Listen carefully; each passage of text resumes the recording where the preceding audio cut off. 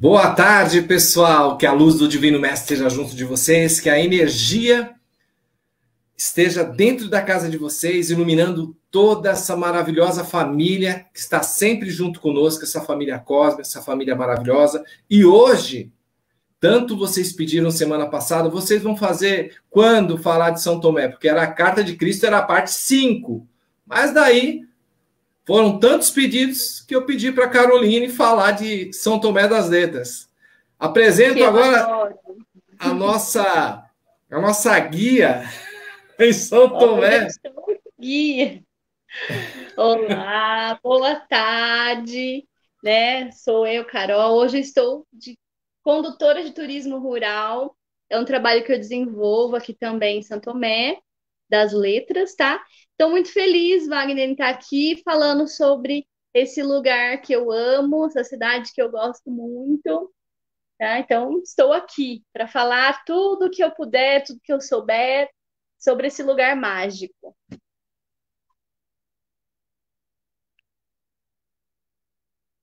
Wagner, tá sem som. Wagner, você tá sem som.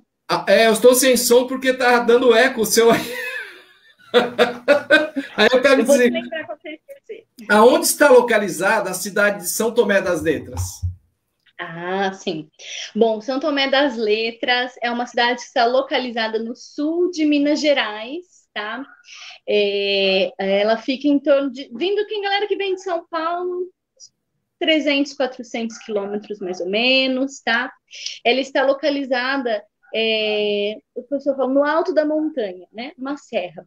É, a 1.400 metros acima do nível do mar. Então, a gente está tem uma vista privilegiada das montanhas é, do sul de Minas Gerais, né? Então, assim, uma vista maravilhosa em qualquer lugar da cidade você pode contemplar, né? Santo Tomé está localizada é, em cima de um enorme reservatório de uma pedra muito especial chamada quartzito, que é a pedra São Tomé. Né?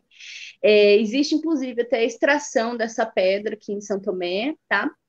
É, que é o quartzito, e existe o trabalho com turismo aqui na cidade, né?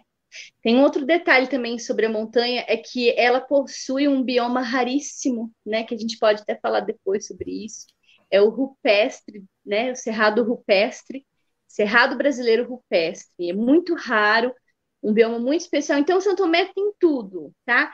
Tem, tem a natureza maravilhosa, tem lenda, tem mistério, né? E é uma cidade histórica também. Ela foi ela a igreja, né, foi fundada em 1700, começou a construção da igreja em 1785 né? Então, ela vem da época dos escravos lá atrás, fez parte aí da colonização do Brasil, é muito antigo aqui. E antes disso, quem viviam aqui eram os índios, né? Os cataguases viveram aqui também. Então, São Tomé tem tudo isso nessa localidade aqui. História, né? Ancestralidade, tem também parte de pintura rupestre. Tudo isso a gente pode estar falando. Se não der para falar tudo em uma live, a gente faz outra, tá? Tem muita coisa. Pode Bom, falar. Vamos lá. Deixa eu ver a próxima pergunta.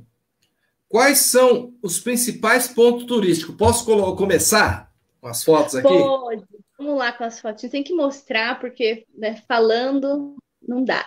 Então, essa é uma foto legal, que é da, dos pontos turísticos do Parque Antônio Rosa, né? O Parque Antônio Rosa fica dentro da cidade, é, é um bioma raríssimo, tá? Eu, faço essa trilha, inclusive, aqui dentro da cidade, mostrando os locais mais importantes dentro do parque. Ele tem a extensão mais ou menos de um quilômetro, né? E ele é composto pela vegetação é, do Cerrado brasileiro, né? Um bioma raro, onde existem plantas é, endêmicas, né? Plantas que só ocorrem nesse tipo de vegetação rara. Então, você vai ver aqui plantas raras, uma vegetação rara. Ó, essa é a Pedra da Bruxa. Esse é um ponto turístico bem legal aqui da cidade também. É, a galera sobe em cima dessa pedra, ela tem um platô para fazer observação de dia, da noite, do pôr do sol, do nascer do sol. E dizem até que essa pedra da bucha ela tem um certo poder, né? onde você vai para meditar. É uma pedra muito poderosa, é um ponto muito poderoso, né? É um rocha, uma rocha assim muito especial. Tem um formato humanoide. Então, por isso chama Pedra da Bruxa. Esse é um trabalho que eu faço, Wagner. Eu faço algumas ilustrações, pinturas, né? Tudo aquilo que me, me chama muita atenção, que eu vejo que ele tem um poder, né? É, quando eu digo poder, eu quero dizer um local que você sente uma presença ali, né?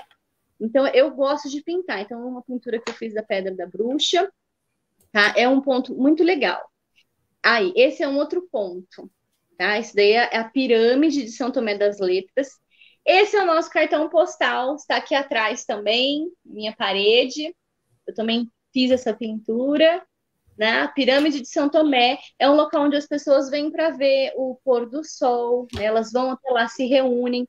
É, o que acontece aí? É, às vezes a pirâmide fica tão cheia que você não consegue ver o telhado, de tanta gente que, que vai nesse ponto apenas para ver o, o pôr do sol. E é muito bonito, né?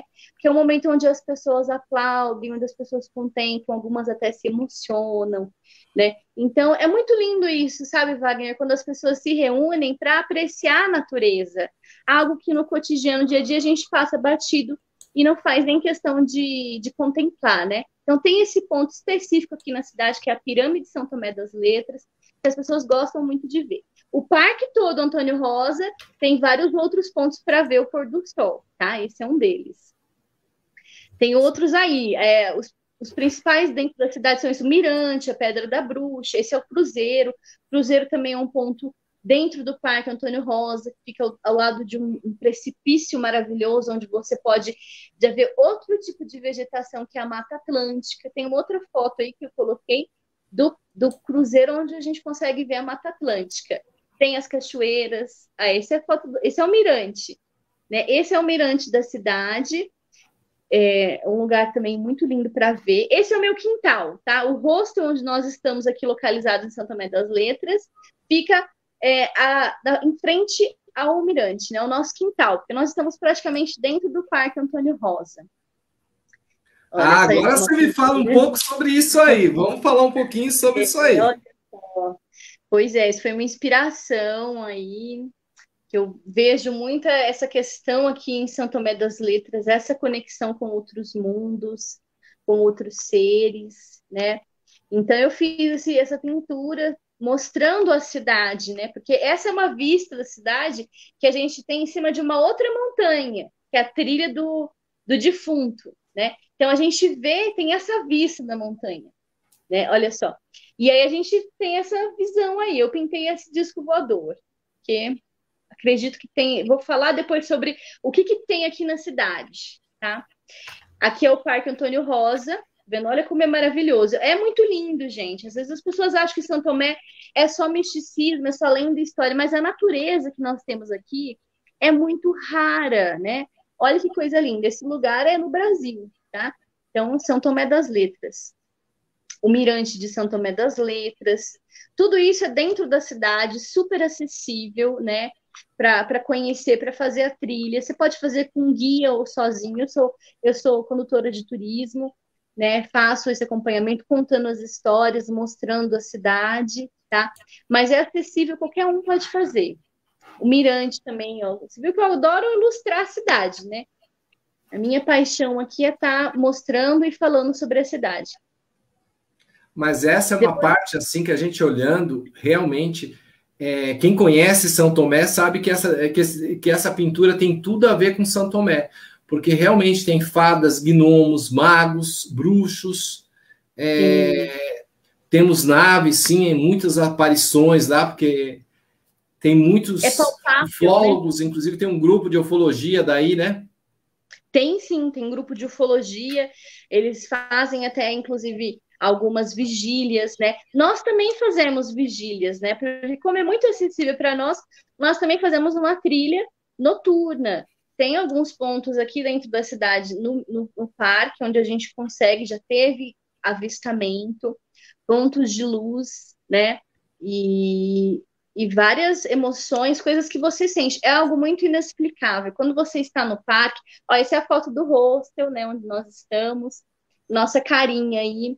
Tá? Nós, só para falar rapidão, então, sobre nós aqui, nós somos um rosto, temos quartos compartilhados, temos quartos para casal, temos área de camping e kitnet, né? Então, esse prédio todo aí, ele é todo montado em magia, tá? Em muito amor e muita paixão pela cidade. Então, a gente consegue proporcionar isso para quem vem sentir. A pirâmide, quando ela fica cheia, ela fica maravilhosa, né? E, e voltando a essa questão das fadas e gnomos, é, é uma coisa assim muito impressionante, porque eu acredito muito na conexão com a natureza, com os seres da natureza, né?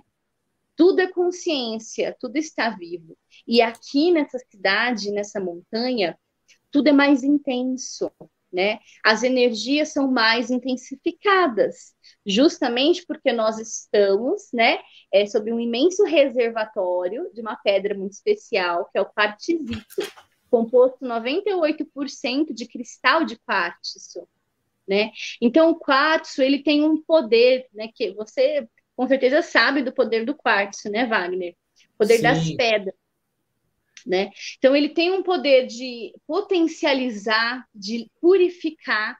E às vezes a pessoa chega aqui na cidade, ela sente algo diferente, ela sente um bem-estar, uma alegria. Tem pessoas que sentem até um desconforto, porque vai potencializar também algumas emoções, né? Algumas sensações, mas na grande maioria as pessoas ficam em êxtase, né? Algo muito bom, onde a pessoa vem e se sente muito bem e quando volta para casa fica com saudade, né? Com aquela necessidade de voltar. Por quê? Porque sentiu que realmente o quartzo fez o trabalho de purificação dos chakras, né? Olha que lindo. Então, é, esse, é, é o, esse é o verdadeiro Só uma pergunta, trabalho. é uma pintura, é uma foto, porque aqui tem uma nave aqui atrás, ó, bem aqui, esse ponto aqui é uma nave. É uma foto. Essa é, é uma, uma nave aqui, ó, bem uma nave, bem aqui, um, um disco mesmo. E você olha, olha que Sim. as nuvens, né, as uhum. nuvens dizem tudo, né, que você nota que parece um um Tem guerreiro, um parece uma montanha. É muito isso. boa essa foto. É mesmo. Isso a gente vê com muita frequência. É, nuvens em formato de nave, né? É, até barulhos, inclusive, já escutamos aqui. Dizem que principalmente, olha, as cachoeiras de Santo Tomé. Santo Tomé, além de ter tudo isso, a gente tem muitas cachoeiras especiais, maravilhosas. Aqui tem o Vale das Borboletas, né? É um, um, tem outros pontos aí nessa, nessa foto. Mas eu vou falar do Vale das Borboletas, que é uma cachoeira linda, exuberante, né? Que tem uma energia tão fabulosa. E lá dentro é, tem locais assim rochosos que você vê seres na pedra, né? É inexplicável. Mas é, venham, conheçam, se possível, contrate um guia local para contar as histórias, as lendas, eu estou à disposição, porque aí sim você vai realmente conhecer o local, né? E tudo que tem para você desvendar ali, são muitos os mistérios, né? E as cachoeiras é a parte, assim, muito especial, de muita conexão que a cidade traz. Fotos do cruzeiro, né?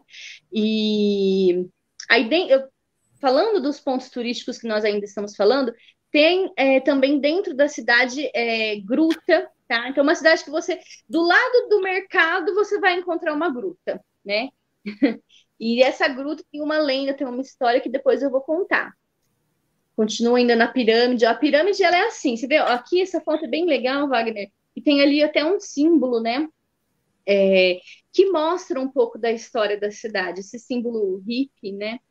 O que acontece? Santo Tomé é uma cidade que o turismo veio através do movimento hippie. Né? Você, você olha aqui atrás, não sei se é outra nave, se era um avião passando, mas ó, outro ponto aqui. Bem aqui. Tem outro ponto. Ah, sim. Nossa, esse está bem nítido. Esse está. É. E aí? E aí? Esse é o Chico Taquara tá? O Chico Taquara, bom, vou falar sobre o Chico Taquara. Quem foi o Chico Taquara? O Chico Taquara, ele foi é, um, um morador de São Tomé, tá? Chico Taquara nasceu em 1840 E após 20 anos, depois dos 20 anos de idade, né, ele foi morar nas grutas. E assim ficou Chico Taquara, ele vivia nas grutas. E o que, que ele tinha que a cidade inteira recorria a ele? Ele tinha um poder de cura, né, a sabedoria de cura, e ele era um ser muito especial, tá? É, o Chico Taquara, ele não, não tem a data do falecimento dele, tá? ele simplesmente é, desapareceu, né? Dizem, inclusive, que ele não era é, desse, dessa dimensão, desse planeta, que ele veio mesmo de outro mundo, de outras dimensões, né? De outro, outra, outra esfera, na verdade. Dizem a existência de mundos intraterrenos, né? Que Chico Taquara era um intraterreno, tá? E ele viveu aqui. Então, assim, os moradores mais antigos contam as histórias que conviveu com o Chico Taquara, que ele morava aqui. Então, tudo que precisava chamava o Chico Taquara, né, para doença, porque São Tomé foi uma cidade muito inacessível por muitos anos. Então você imagina uma cidade no, no alto de uma serra, né? Foi construída, na época é, da escravidão, né? Onde não tinha acesso a nada, tudo mão de obra escravo. Para construir a igreja demorou quase 40 anos. E, e as pessoas não tinham acesso, né? A muita coisa. Então, a época que Chico Taquara esteve em São Tomé, a cidade era muito precária, era um vilarejo muito pequeno. E ele era o responsável pelas curas do local. E dizem que ele viajava em portais dimensionais. Tá? Tem uma lenda, inclusive, que Chico Taquara é, foi solicitado por um esposo de uma mulher que estava dando à luz, né? Então ele foi é, atrás de Chico Taquara né? Levou uma hora para chegar onde o Chico estava, a cavalo. E Chico, por favor, ajude minha esposa, está dando a luz, está com problemas no parto, né? E Chico diz: vá na frente, que logo eu vou, né? Então o, o, o esposo foi, né, encontrar com a, com a esposa dando a luz, foi chateado porque Chico não foi com ele, né? E quando ele chegou na porta da casa, a mulher estava segurando a criança nos braços e, e, e perguntou: você encontrou com o Chico? Ele acabou de sair, né? Ou seja, ele tinha uma forma de se locomover diferente, né? Aí a gente faz uma assimilação com o poder do quartzo, né? Por quê? O quartzo, ele tem, ele, o que, que ele faz? Ele, ele absorve energia e libera, né? Aí sim dizia, se você tiver energia suficiente, você pode abrir uma fenda no tempo e espaço né? Então, talvez ele aprendeu essa manipulação, né, através da, do poder da montanha, e assim ele conseguia se locomover em portais dimensionais. Ou talvez ele realmente não era um ser humano comum, né? Poderia ser realmente outro ser aí, um ser de, de outras dimensões. E a história é que Chico Taquara não foi dado como falecido, encontraram alguns pertences dele na, nas grutas, mas eles tinham desaparecido. Né? Então, dizem que antes dele desaparecer, ele simplesmente deixou um recado que a missão dele tinha acabado ali e agora ele ia para outro lugar, para outra dimensão. Inclusive, eu até comentei dele no começo, né? Que tem uma estátua dele imensa na cidade, né? Tem, tem uma estátua numa rotatória de Taquara. Quando você vai para a pirâmide, você passa por ela. Então, ele está, inclusive, rodeado nessa estátua por animais porque ele tinha essa conexão com os animais. Os passarinhos vinham e pousavam no ombro, né? Então ele falava com os animais, os animais entendiam. Era ele quando ele chegava, ele vivia nas grutas. Quando ele chegava na cidade, imagina a cidade parava, né? Porque assim os animais seguindo ele, ele conversando e tal, tendo todo aquele poder de cura, as pessoas tinham até medo, né? E tem um vizinho meu que ele contava que uh, o pai dele, o, uh, o avô assustava falando: Nossa, se você não se comportar, o Chico Taquara vai te levar embora. Porque ele tinha muito poder, né? É verdade. E essa foto? Ah, então, olha, essa é uma pintura que eu fiz da Pedra da Bruxa, tá? Eu pinto tinta a óleo, também aquarela e outras tintas é, há mais de 15 anos. É um, é um hobby, um trabalho meu. É, é muito assim, a questão da minha necessidade de expor aquilo que eu vejo, aquilo que eu sinto, né? Então, a Pedra da Bruxa é um ponto que me encanta muito. A Pedra da Bruxa aí. É ela em outro ângulo, tá? É o mesmo local. É linda ela. É muito bonita. Opa, muito bonita. Peraí que eu tô... Ó, essa é a nossa sacada do hostel. Essa é a sacada do nosso hostel. Nós temos essa vista para a montanha, para o sul de Minas, tá? Muito bonita. Ó, essa é outra. Essa daqui, ó, essa pintura tem uma coisa para falar sobre ela. Foi o que assim eu recebi como é, inspiração, né? Porque a pirâmide é um local onde as pessoas se reúnem, né? E elas vão assim, muitas pessoas se encontram lá, sobem em cima desse telhado, né?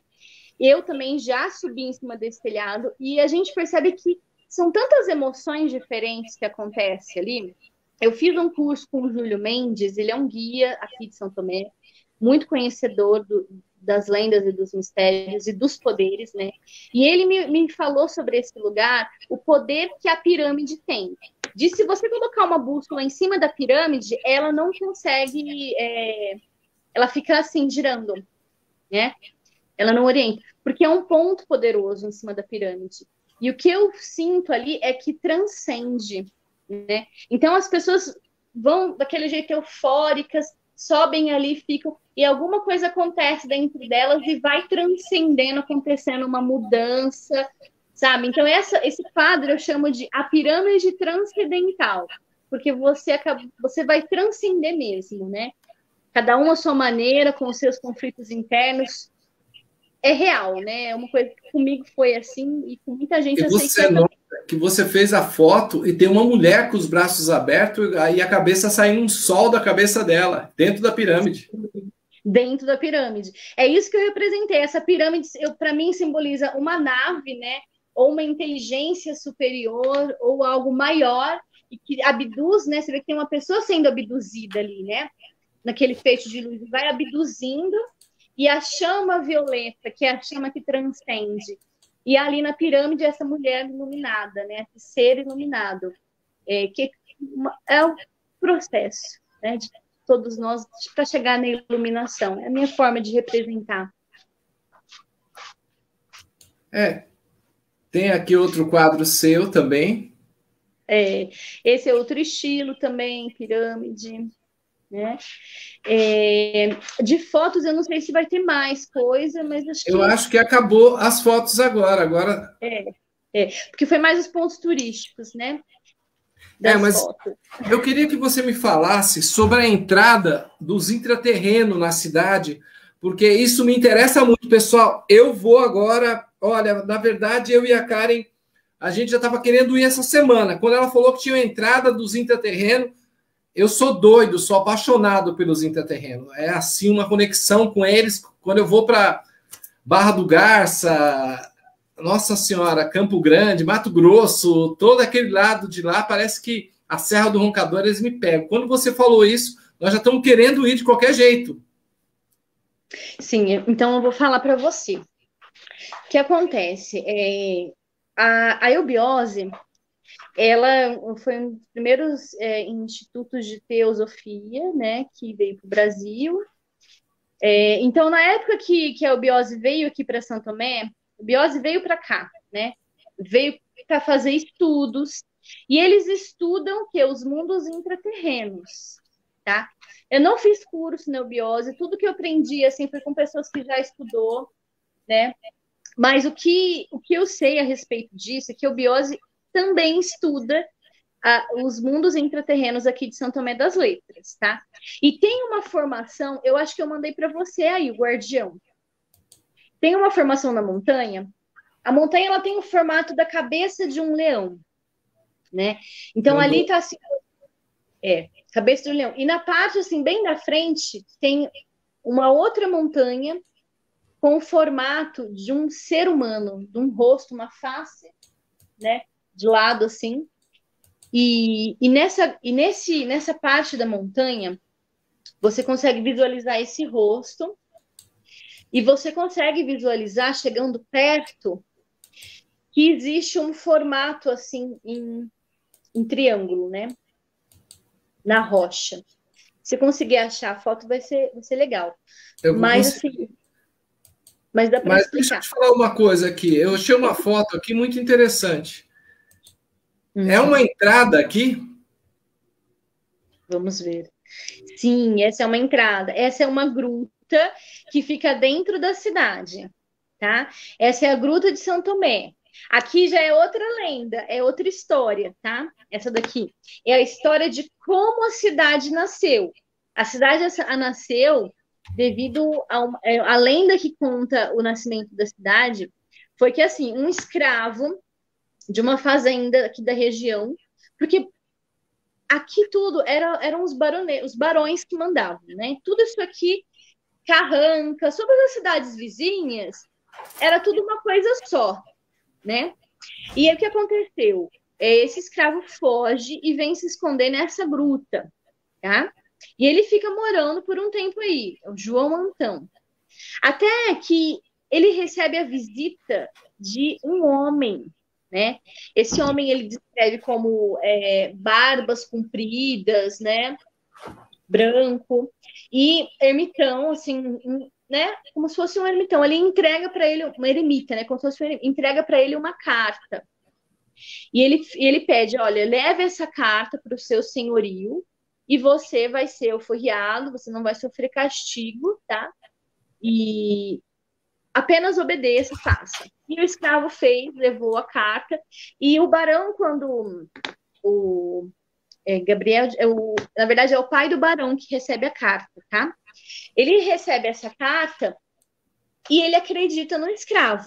Nessa lenda não é revelado o que realmente está escrito na carta, mas é revelado que ele faz uma grande expedição para essa gruta, porque ele ficou intrigado para saber quem era essa pessoa que escreveu a carta. Era uma grafia perfeita, um papel, uma qualidade que um escravo não teria acesso, né?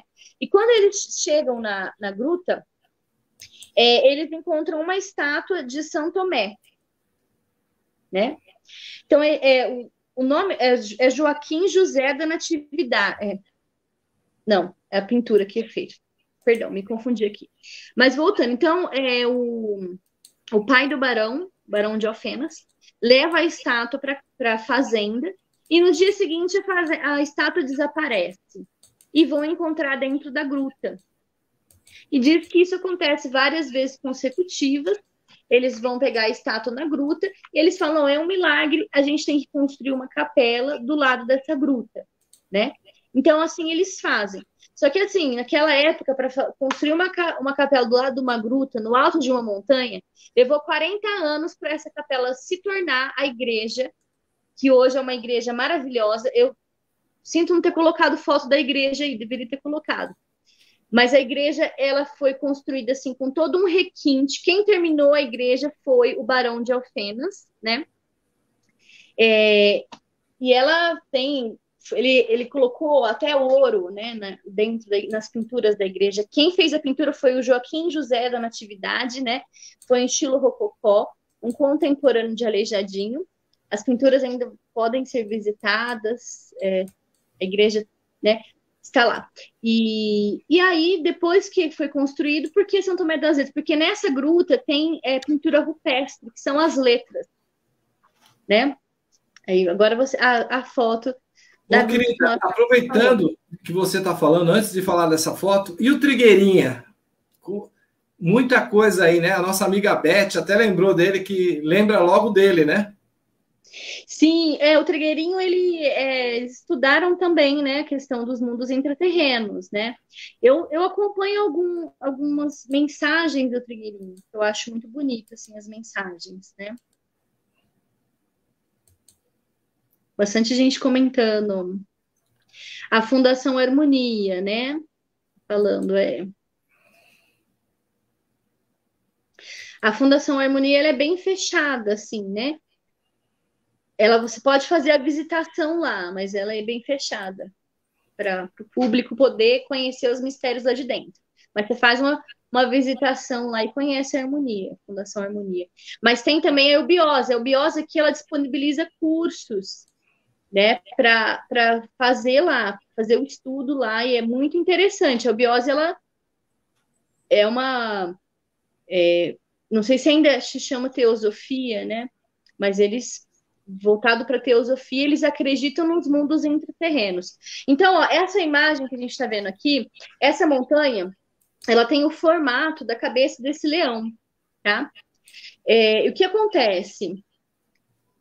Nessa, na, tem uma outra foto que nessa parte, bem embaixo do focinho do leão, é, a, é tem a imagem de um rosto, um perfil. A foto seguinte, será que não é, o, o Wagner? Deixa eu ver aqui, porque ficou meio misturado, porque eu tive que buscar o celular. Ó, oh, tem essa entrada também, né? É, essa é outra. Calma, é tanta coisa. Eu, eu tô falando um, depois eu começo outro. Peraí que eu vou achar aqui, porque. Tá, ah. Isso aí, essa. Essa é a imagem. Então, essa, essa, esse lugar está ali naquela outra montanha que nós vimos o leão, tá? Então, você perguntou da entrada dos mundos intraterrenos. Tá aí essa é entrada, tá? Esse é o guardião e, logo embaixo dele tem um côncavo, tá? Na, na pedra, que fala que ali é a gruta do triângulo. Aqui, se você observar bem do lado da cabeça dele, aqui tem um triângulo, ó, uma rachadura na pedra, um triângulo. Você consegue ver? Né? Esse um, um triângulo, uma rachadura ali formando um triângulo, né? Na, na parte de cima. É, eu não consigo aumentar mais do que isso. Uhum. Então está bem na parte de cima, ó. Se você pegar o nível da sobrancelha e for indo no sentido da orelha, você vai ver que tem, o triângulo ele começa de cima da cabeça e desce. É verdade. Passa o mouse assim para as pessoas verem onde que é. Aqui, ó. Isso, ó. aí. Isso. Esse triângulo. Então, esse triângulo, é, eles até fizeram um estudo que não foi feito pela natureza, tá? houve uma, uma, uma, interferência aí, alguém fez, ou algum ser fez, né? O que, que eles falam que simboliza? Simboliza o equilíbrio das três mentes, mental, emocional e espiritual, tá? Que estando em equilíbrio com essas três mentes, o côncavo embaixo, que seria a entrada da gruta, se abre para a entrada dos mundos intraterrenos. Então, esse, esse é um local que não é acessível para para quem não conhece, né? É só com guia mesmo para conseguir acessar, para conseguir levar certinho. Poucas pessoas sabem, né? Isso daí é o pessoal mais da antiga que conhece mesmo. É, minha irmã, e... ela vive em São Tomé das Letras. Ah, então, algumas pessoas conhecem sim, mas não é todo mundo não, porque é um ponto mesmo energético, é, para você se conectar. Algumas pessoas têm relato que têm emoções, sensações. Agora, voltando para esse outro local aí. Esse local também é muito importante, é muito magnético. Esse é a, a Pedra Furada. Fica dentro da cidade também, não fica no Parque Antônio Rosa, fica atrás da rodoviária, praticamente dentro da pedreira. Só que esse local é aberto para visitação, né? Esse local, a história que eu sei é que ele fica é, em um dos pontos das linhas leis. Né? As linhas leis é um estudo é, que foi feito medindo e as energias do planeta. Então diz que o planeta, ele igual nós, nós temos os chakras, né? E não temos só os chakras, né? Então, os principais são os chakras, que são os pontos de energia do nosso corpo. Então, tem o, o o plexo solar na barriga, né? Tem o coronário na cabeça, tem o do terceiro olho, da, o da garganta, do coração. Cada ponto energético é, vai trabalhar as energias, vai trabalhar a conexão com o divino, vai trabalhar a, a intuição, vai trabalhar a fala, as emoções, né? E assim por diante. Então, tem uma função no corpo humano para nós como seres, tanto emocional quanto espiritual, tá? Agora, o planeta também tem os chakras, também tem os pontos de energia. Né? Então, dizem que São Tomé é um ponto de energia. Diz que esse local que a gente está mostrando ali, que é a Toca da Pedra Furada, é um local que tem esse ponto de energia aqui, né? Essa pedra furada. É um, exatamente, fica exatamente em cima é, de um dos pontos das linhas lei. Quando elas se cruzam, né? Então, eles fizeram esse estudo medindo as energias. Então, onde tem um cruzamento das linhas, é, foi construído pelos antigos, né, pelos egípcios, uma pirâmide, Olha que coincidência esse estudo das energias. Exatamente. É um portal, né? É um portal, um portal, né? Um portal, ou, ou para sinalizar que ali tem um, um magnetismo, um ponto de energia do planeta. E diz que essa construção da pedra furada, algumas pessoas falam que é natural, mas é, também foi analisada a possibilidade de não ser natural essa pedra furada, de ser mesmo algo construído, tá? Por alguma inteligência, seres que já viveram aqui, né? É, eu acredito que era para ter muito mais coisa. Infelizmente, a pedreira acabou é, levando muita coisa, né, que tinha aqui. Os índios sabiam, por isso que tem tanta pintura rupestre na cidade, né? Mas ficou preservado aí a pedra furada. É um lugar muito interessante, Wagner. Quando você entra ali, você sente alguma coisa, você sente uma energia muito forte, tanto dentro da pedra quanto em cima dela, né? E, e tem é, é uma pedra assim bem diferente. Tem outra pedra furada também. Bom, eu estou aqui com o Luiz Henrique, que ele é o, é o cara, né? Ele, a entrada da cidade interterrena fica na ladeira do amendoim. É uma das entradas, né? Da ladeira do amendoim é... tem muita lenda em volta, tá? A gente pode estar falando sobre a ladeira também. O que, que acontece? A ladeira do amendoim é, é um ponto que ocorre um fenômeno onde o carro sobe ao contrário. Então, é uma, uma ladeira que, ao invés do carro descer, você vai lá, você desliga o carro, ele vai subir sozinho. Você vai tira o freio de mão, né? Ele sobe ao invés de descer. Então, vai, você vai contra a lei da física. Alguma coisa ali acontece, tem um magnetismo. Mas o que eu sei sobre a ladeira?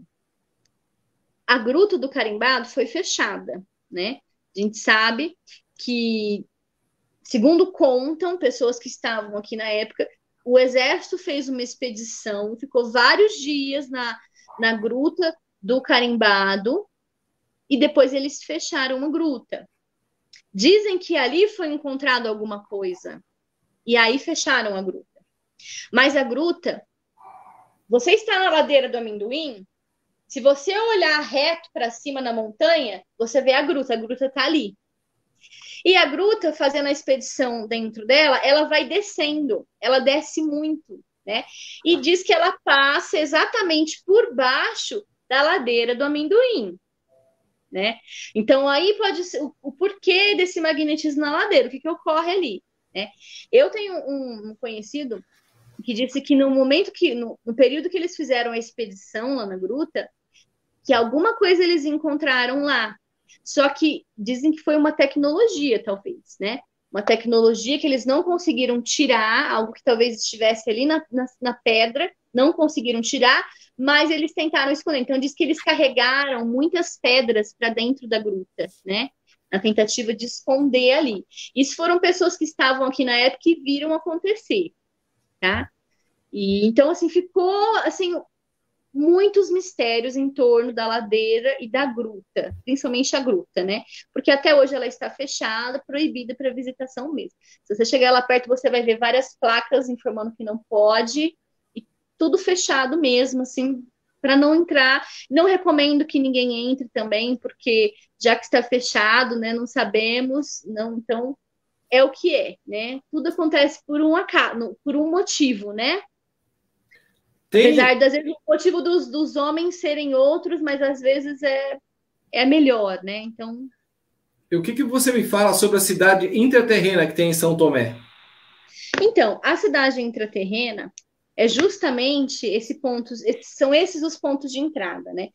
Aqui é um local de muito poder, né, gente? É um imenso reservatório de quartzo. Tem um porquê deles estarem aqui, né? Provavelmente uh, esse magnetismo, o que eu acho assim que nós estamos aqui, nós também temos uma grande responsabilidade com o magnetismo da montanha, porque tudo que a gente está emanando, o quartzo está potencializando, é um imenso reservatório de quartzo. Então, assim, é necessário boas energias, é necessário emanar coisas boas, porque isso vai refletir no planeta todo. Né? Então, talvez esse seja o propósito dos seres que aqui estão, dessa cidade intraterrena, né? Porque eu acredito que eles estão sempre trabalhando para o bem do planeta, né? Para o nosso bem. E o que eu sei são muitos relatos, pessoas que tem inclusive pessoas que até falam que é, tiveram filhos, né, com seres aqui, né, que diziam ser realmente intraterrenos, né? Então são híbridos. Casos assim, híbridos, é, é. Ouvi falar de dois casos assim, né? Mas eu acredito que eles não, não vão assim se expor, né? Eles estão na missão dele, eles estão fazendo o trabalho deles. Agora, os, os intraterrenos, quem quiser saber mais a fundo, eu indico para leitura um livro do seu Tatá, Tatá Noronha, é, Mundos, Mundos Intraterrenos. É, eu, poxa, acho que eu esqueci o nome. Estou vendo se, se esse livro está por aqui. Mas tem um livro dele que ele conta a experiência dele que ele viveu e o contato que ele teve com esses seres, né? Então ele realmente teve um contato com o ser, ele foi para lá, ele viu, uh, e é muito lindo assim o relato dele no livro. O livro fala assim sobre muitas coisas da cidade. O seu Tata Noronha ele já é falecido, mas ele foi um historiador, um dos primeiros, o primeiro, né? Praticamente assim, com a intenção de fazer de história, de catalogar, né? Ter... Então, assim, ele descobriu muita coisa, muita coisa mesmo. Tudo que, muita coisa que a gente tem hoje sobre o misticismo de São Tomé veio dele, né? Então, é, é bom, assim, lembrar as pessoas que, que fizeram a diferença. Eu vou tentar e, lembrar o nome do livro, mas... Sobre as aparições de OVNIs no, no, na cidade, você tem alguma coisa para contar para gente?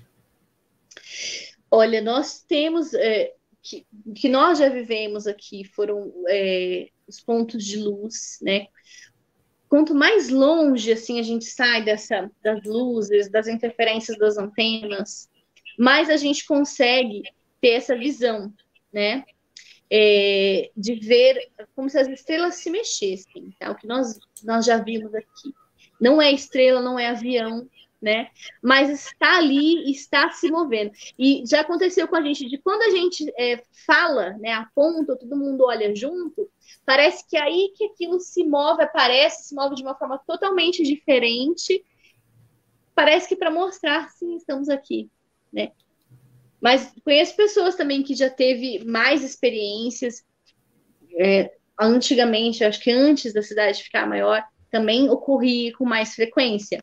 Tem uma história que eu li, é, acho que no livro do seu Tatá mesmo, de um, de um acontecimento onde, em cima da igreja, ficaram três naves por horas, né?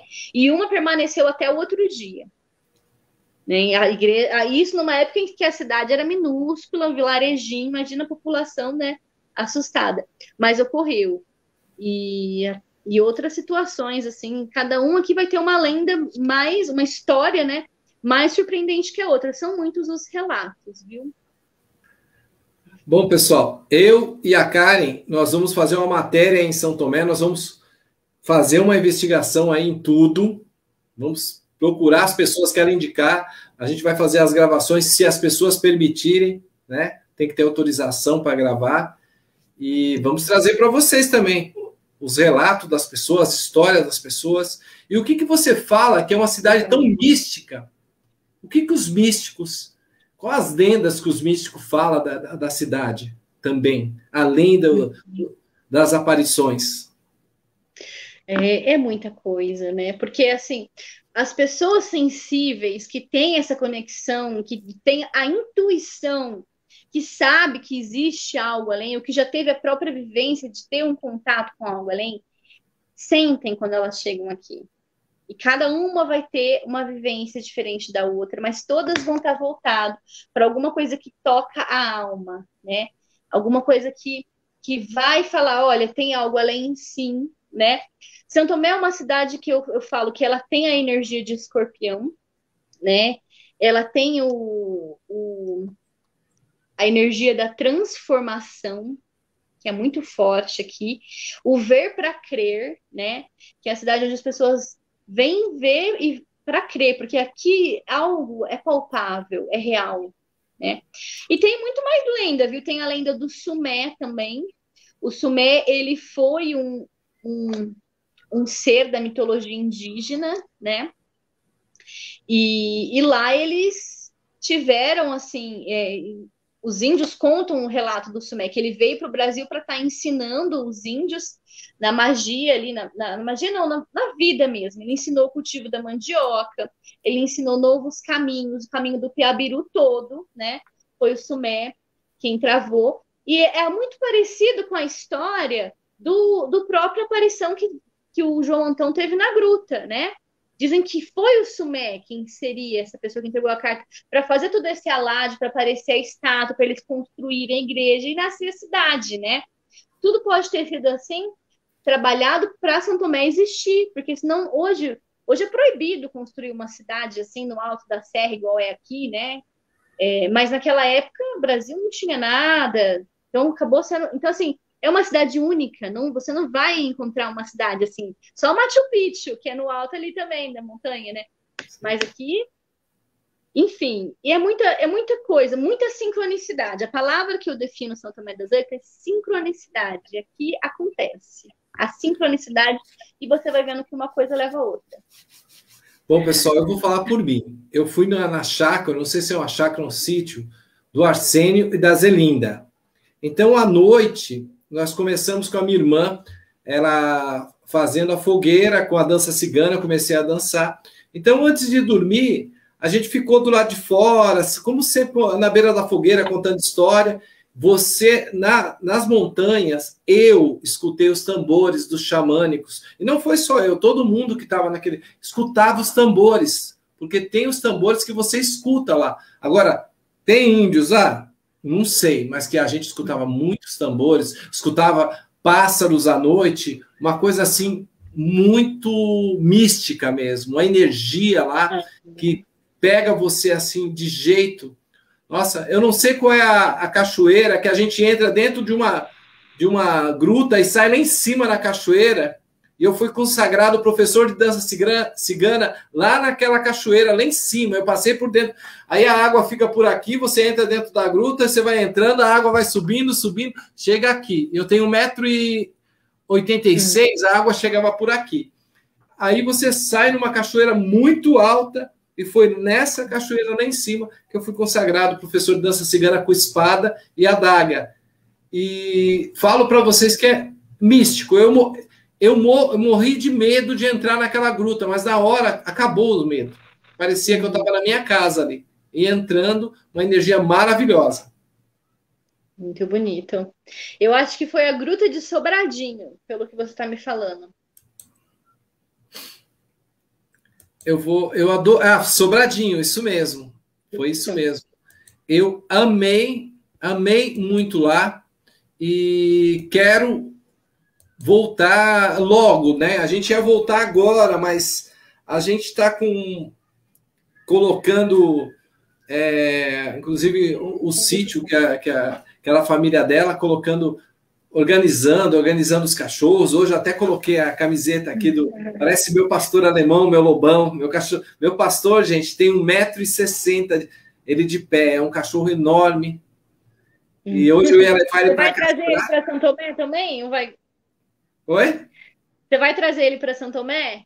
Não dá, eu tenho 10 cachorros, onde eu até os pequenos eu levo para quando eu vou para o Batuba, né? Mas é muito uhum. longe para mim com eles. É, e não, é. as pessoas chegando aí é...